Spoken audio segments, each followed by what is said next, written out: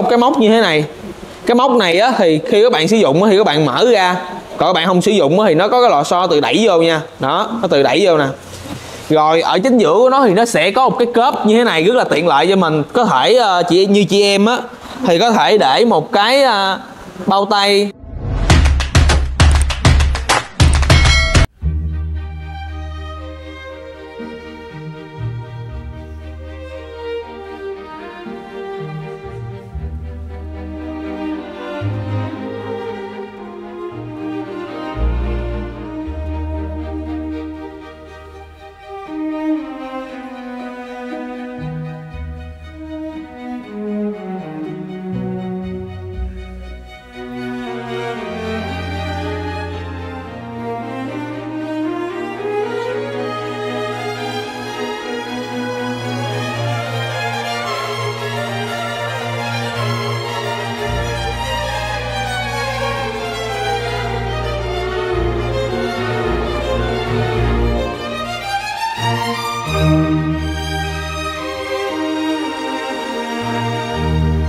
Nha quay trở lại với kênh Mạnh Mê Xe. Thì hôm nay á em tiếp tục review con Vespa 50 mẫu Dior nha. Đó.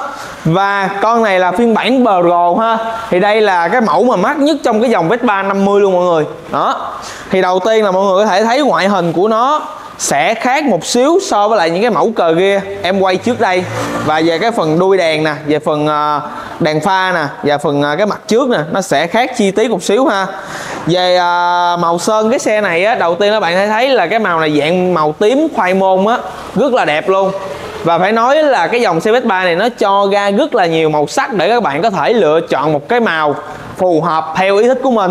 Đâu đó thì cái màu Vespa em nhớ không lầm là tầm khoảng từ 15 cho đến 20 màu mà cái màu này là màu zin nha, chứ không phải là màu sơn lại đâu mọi người. Thôi, thì bây giờ vô chủ đề chính chiếc xe trước mặt mọi người ngày hôm nay ha. Đầu tiên là về phần pha đèn. Xe được trang bị pha đèn led hai tầng nè các bạn. Đó, thì cái viền ngoài của nó là màu đen bóng ha. Về phần ốp tay lái của nó sẽ là màu tím. Thì cái pha đèn này nó sẽ vuông vuông một xíu ha. Nhìn nó sẽ có nét cổ điển một xíu. Đó, về phần mặt đồng hồ á, được trang bị là mặt đồng hồ điện tử. Thì giúp cho mình quan sát những thông số trên xe cũng rất là dễ dàng luôn thì à, những cái cùm hai bên của nó các bạn cùm công tắc hai bên được sơn màu đen dòm rất là giống con Vespa 125 luôn. Đó các bạn thấy không? Về phần mặt nạ trước của nó nè thì cái cà la quát ở đằng trước á, thì sẽ là màu đen bóng nha. Đó chính giữa có một cái đèn đờ mi phía trên đây thì có một cái logo Detax đó là hãng xe sản xuất của cái à, xe này. Rồi ở dưới đây là có một cái ờ, đèn tên xe nữa ha mọi người ha? Đó cái tên xe của mình đây và đèn xi nhan hai bên của nó đây mọi người. Nó có hình chữ L ha. Xi nhan nó là sử dụng xi nhan led hết. Thì toàn bộ trên xe này đều sử dụng là đèn led hết nha. Không có sử dụng đèn halogen mọi người. Về trước của nó cũng là màu tím luôn. Trên đây thì sẽ có một cái mau gà. Đó. Cái mau gà thì nó là màu đen nha. Về phần bánh mâm của mình á, thì là màu bạc. Phuộc bạc. Và heo dầu cũng bạc luôn. Xe này sử dụng là thắng đĩa. Thì heo dầu của nó là sử dụng heo dầu hai bít tông. Đối xứng những cái chiếc xe thông thường của mình á đa số là heo dầu một bích tông là một bên thôi. Còn xe này bích, bích tông hai bên đối xứng á thì cái uh, dĩa nó sẽ nằm ở chính giữa. Hai cái bích tông nó nằm hai bên này nè mọi người. Đó thì thắng nó cũng rất là an toàn luôn. Đó. Về phần sàn xe á thì mình thấy á, thì nó cũng khá là ổn và rộng rãi đủ để cho các bạn ngồi lên. Nó không có bị hẹp hoặc là bó cái chân của mình. Đó. Mình ngồi lên này các bạn thấy không?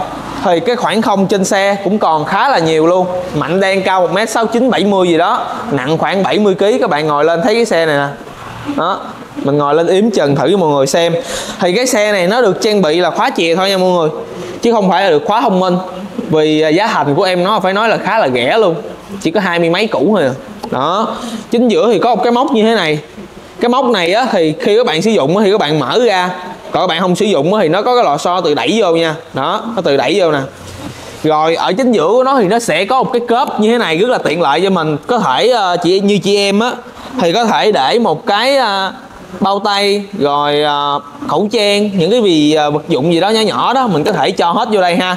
Thì nó sẽ có hai cái hộp hai bên, nó đều như vậy nè. Đó. Rồi, về tới cái phần yên yên xe á, thì mình ngồi lên mình cũng thấy khá là im luôn. Chính giữa thì nó có mai hai cái đường chỉ màu trắng nè tạo cái điểm nổi bật của xe. Về phần cốp xe á, thì nó cũng khá là ổn nha đủ để cho các bạn ờ, đựng nón bảo hiểm áo mưa áo khoác. Đó. Cốp xe mình nghĩ chắc cỡ ờ, 15 lít thôi mọi người ơi nó không có hơn được cỡ 15 lít. Về phần ốp sườn á là màu ờ, tím, khoai môn nha mọi người. Đó. Ở dưới đây là cái chữ của xe đây. Còn đây là phân khối của nó 50 cc ha. Đó. Pro đây. Thì động cơ xe này nó chỉ có 50 cc thôi. Bình quân một lít xăng các bạn có thể chạy ờ, được cỡ ờ, từ 60 cho đến 70 cây một lít nha. Về phần đuôi đèn hậu đây mọi người. Đuôi đèn hậu của nó thì nó giống như mấy mẫu những cái Vespa đời trước của mình luôn á. Mẫu Vespa 125 á ha. Nó rất là na ná giống như nhau. Thì chỉ có cái cản á, thì nó sẽ khác hoàn toàn một xíu thôi. Cản của em nó thì mình thấy nó hơi ngắn. Nếu mà dài ra được một chút xíu á dòm rất là đẹp luôn. Đó. Thì cái mẫu này nó chỉ nhắm tới những bạn học sinh và những người lớn tuổi sử dụng chiếc xe này đi ờ, hàng ngày nhưng mà đi lanh quanh đâu đó 10 cây đến 20 cây hàng ngày thôi. Mà đi xa thì mình thấy nó không ổn, tại vì động cơ nó hơi nhỏ, các bạn đi nó sẽ lâu tới. Đó. Thì phạm vi có ngày các bạn đi một đoạn đường ba bốn chục cây, bốn năm chục cây thì rất là bình thường thôi thì à, đối với con xe này á, hiện tại á, hôm nay tháng 9 nè mọi người. Thì đang có cái giá chỉ có 22 triệu thôi mọi người. Đó giá xe chưa bao gồm biển số nha. Nếu các bạn muốn biết biển số giấy tờ thêm bao nhiêu á thì à, cứ liên hệ số điện thoại zalo trên màn hình ha để nhân viên bên mình tư vấn nha. Chỉ cần trả trước á tầm khoảng từ 2 triệu trở lên thôi là các bạn có thể sở hữu một con Vespa như thế này rồi. Chỉ cần căn cước công dân có chip đủ 18 tuổi là được ha. Rồi thì mình cũng mình cũng còn rất là nhiều màu nha. Các bạn muốn xem màu nào thì cứ à, nhắn tin qua zalo 0396 356 356 nha. Đẩy nhân viên bên mình hỗ trợ tư vấn và gửi màu sơn qua cho mọi người xem ha. Và hẹn mọi người gặp lại các video tiếp theo nha. Bye bye.